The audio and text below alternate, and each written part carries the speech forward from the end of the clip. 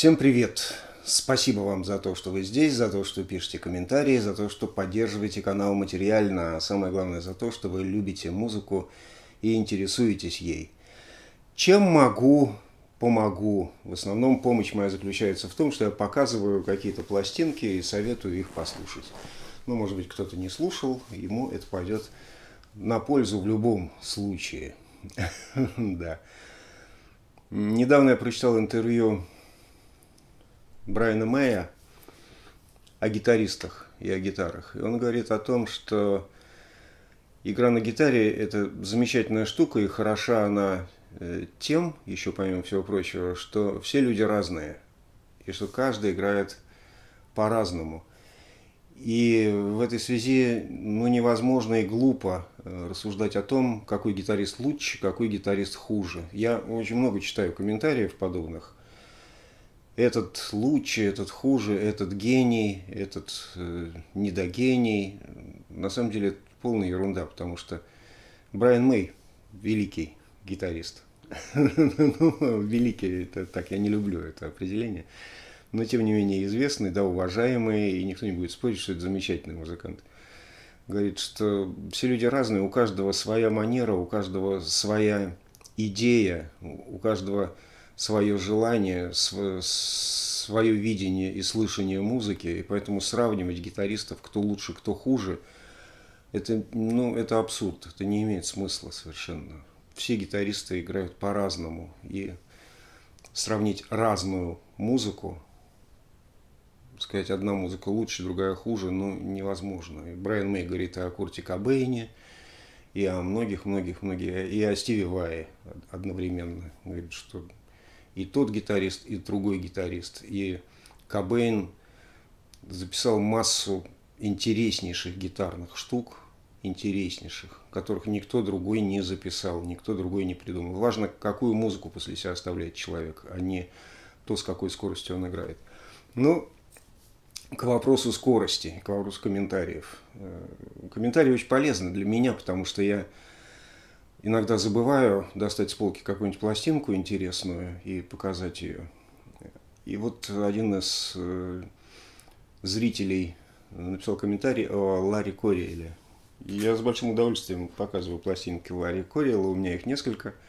Потом покажу другие, например, Fairyland, замечательный альбом. Но сейчас Barefoot Boy. Тоже 71 год, как и Fairyland. Но я не скажу, что она мне нравится больше, чем Fairyland. Они примерно одинаково мне нравятся. Просто я достал, первым достал вот эту. Настоящее американское издание, толстый картон, промо-копия даже у меня. Вот такая вот пластиночка. 71 год, блестит. И как часто бывает с американскими пластинками, оригинальными, пахнет – у меня есть несколько таких пластинок. Кросби Стилс Нэш Янг, оригинальное издание, оригинальный картон. Он со специфическим запахом таким. Приятным, надо сказать. Ничего такого страшного нет. Приятный запах. Ларри Кориэл, посмотрите на его лицо. Интеллигентный такой мальчик в очочках, практически ботаник. Да? И кто бы мог подумать, что этот ботаник играет музыку настолько зверскую, настолько безумную, отвязанную и даже пугающую иногда, что ну, не вяжется это с его внешним видом. Ну как, ну как может такой паренек играть абсолютное зверство, из гитары выжимать невероятные совершенно звуки и играть с умопомрачительной скоростью – с умопомрачительной к вопросу скорости, хорошо это или плохо. Это нормально, каждый играет по-своему. Одни играют быстро, другие, другие играют медленно. Дэвид Гилмор играет медленно, никогда не играл быстро. Многим очень нравится. Он хороший очень гитарист, да, у него прекрасное звукоизвлечение, чуткость, тонкость, понимание, но мне не очень нравится его игра, потому что, на мой взгляд, он достаточно однообразен. Единственное, что, конечно, пластинку Pink Floyd под названием Animals он вытянул э, на себе. За это ему огромная признательность, огромное большое спасибо. Но про Animals я поговорю отдельно потом, когда будет настроение. А э, сейчас Ларри Кориэл, 71 год, Barefoot Boy. Пластинка записана в Нью-Йорке в студии э, Electric Lady, э, режиссер Эдди Крамер. То есть вспоминаем Джимми Хендрикса сразу же. И здесь, на этой записи, здесь всего три произведения на пластинке Gypsy Queen, The Great Escape и Call to the Higher Consciousness.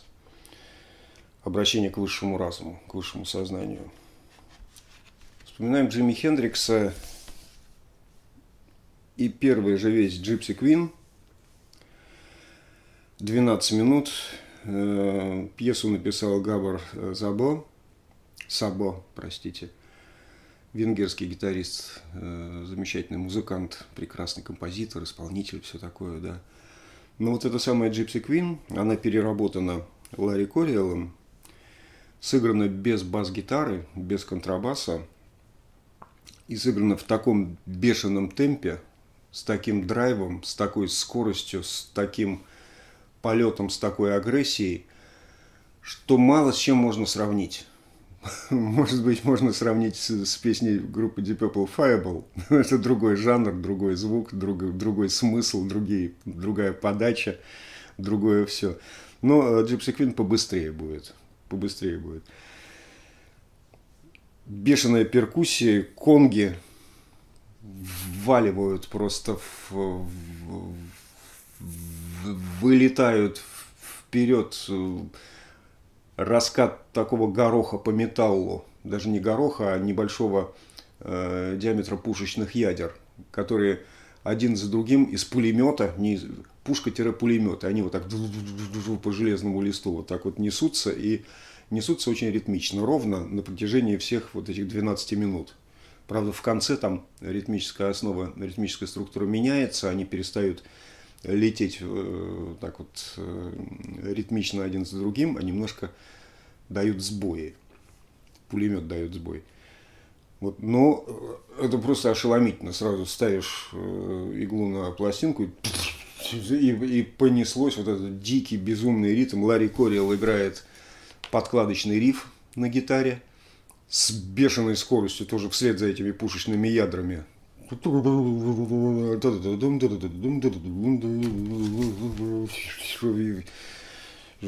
куда-то уносится это все дело. Барабаны, естественно, помогают конгам. И вот эти барабаны с конгами, они просто как, как это вообще сыграно, совершенно я не понимаю. Ну, состав такой, Ларри Корил гитара, понятно, Стив Маркус тенор, тенор саксофон, Лора Скиллиан конги и Рой Хайенс ударные – еще Харри Уилкинсон перкуссия вместе с конгами. Там не только конги, там еще и мелкая перкуссия. Ее много, и она такой... У Сантаны я такого не слышал. При всей любви моей к ритм-секции Сантаны и к самому Сантане, и к музыке Сантаны. Такой ярости, такого, такого драйва я не слышал. То есть тут задается, конечно, в полный рост. Врубается саксофон, несколько фраз таких весьма традиционных, читаемых, а потом начинается полет сознания в стиле, я не люблю этого говорить, э, в ключе, наверное, Джона Колтрейна. Хотя Джон, Джон Колтрейн играл по-другому, не так, с другим звуком, но здесь в, в ту же сторону, в том же направлении. То есть модальная вот эта история импровизационная с дикой яростью, с флажолетами, с хрипением, с, э, с, с пением, с, с выходом из тональности, со входом в тональность обратно и, и, и, и просто безумие, просто безумие. И очень быстро, конечно. И ты такое лицо сделал, как будто мне не нравится, мне нравится. И очень быстро. И перехватывает его, наконец, продолжая продолжает звучать записанный э, риф подкладочный, гитарный. Баса нет, запомните, напомню, да. И врубается Ларри Кориэл. И здесь уже мы слышим все. Мы слышим и то, что Ларри Кориэл очень любил Джимми Хендрикса, и при этом очень любил Джона Маклафлина.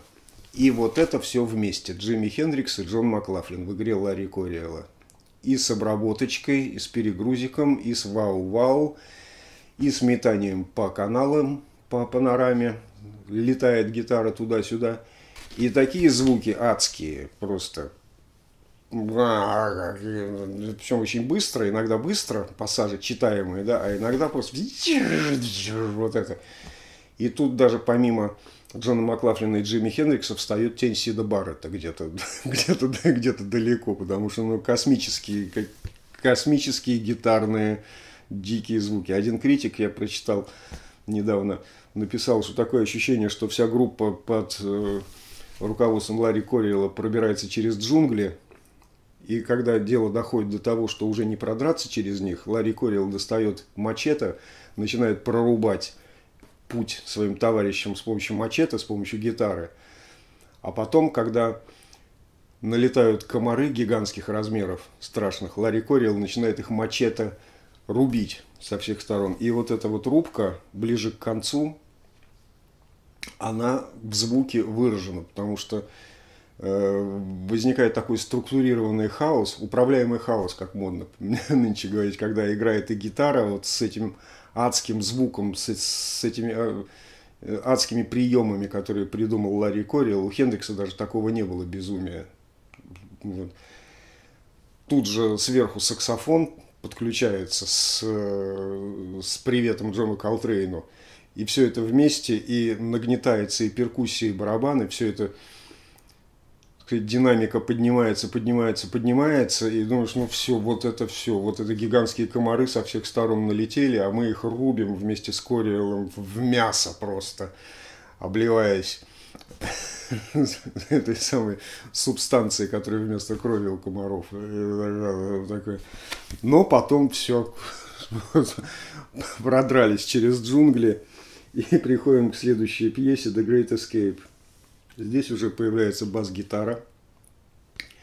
В одном источнике написано, что здесь играет на бас-гитаре сам Кориэл, в другом, собственно, на пластинке написано, что э, приходит э, Мервин Бронсон с бас-гитарой. Я не знаю, кто прав, кто не прав. Я думаю, что было и так, и, и так. Потому что как происходила студийная запись, никто, кроме музыкантов, Эдди Крамера не, не знает. Я думаю, что басист пришел попозже просто и подключился в, как, в какой-то в одну из э, в один из дублей. Но это уже немножко поспокойнее. Это уже такой среднетемповый фанк с блюзовой основой гармонической, саксофон, хороший риф. И Кориэл играет с педалью Cry Baby – внятную, совершенно блюзово, блюзово-джазовую историю, очень приятную. Начинается все с аккордовой истории, а потом уходит в одноголосое соло в перемешку с саксофоном. И, в общем, небольшая передышечка. Передышечка перед вот этой пьесой, которая на всю сторону идет 20 минут, а, длится Call to the High Consciousness, к высшему разуму. Что это такое? Это абсолютно свободный джем виртуозных музыкантов, которые прекрасно друг друга слышат, прекрасно взаимодействуют, но основа прописана все равно этого джема. Конечно, это не, не просто сели в студии, ну давайте что-нибудь сыграем, ну что-нибудь, а что, а ну давай ты начинай, а мы ты начинай, а мы подпоем, там, да, как в одном фильме. А, Иван Васильевич меняет профессию, да. Нет, основа прописана, но тут все по полной схеме. Начинается тихонечко, спокойненько, а потом понеслось и полеты саксофона, и полеты гитары с дикой скоростью. И здесь уже Хендрикс ушел, остался только Джон Маклафлин. Если вы любите музыку Джона Маклафлина, то услышите похожие ходы, похожую манеру, безумные дикие тремоло с невероятной скоростью – такие астенатные э, фразы с той же невероятной скоростью и подъем по аккордам вверх куда-то куда-то, куда-то, куда-то в космос улетает вся эта история, но э, потом возвращается и остается в джеме э, снова. Соло на барабанах прекрасная, бас-гитара замечательная, соло на фортепиано, подтянулся здесь человек еще, э, с которым э, Корил много работал, э, Майкл, Майкл Мэндел. И, и, в общем, всем сестрам по серьгам. 20 минут, и слушать абсолютно не скучно, а безумно интересно, потому что вот эти вот, вот это вот хождение по дебрям джаза-джаз-рока, а Корил считается одним из основателей музыки, которая называется джаз-рок, если кто не знает. Наравне с Майлсом Дэвисом, с Джоном Маклафлином, с Чиком Корея, с Херби Хэнкоком, Ларри Корил – один из столпов этого направления. Но здесь он безумствует по полной схеме, и если кого-то отпугивает слово джаз, то рока здесь гораздо больше, чем джаза. А в основном здесь, конечно, гитарные безумства высшей пробы. Просто ухо радуется, душа поет, и мозг разваливается на части.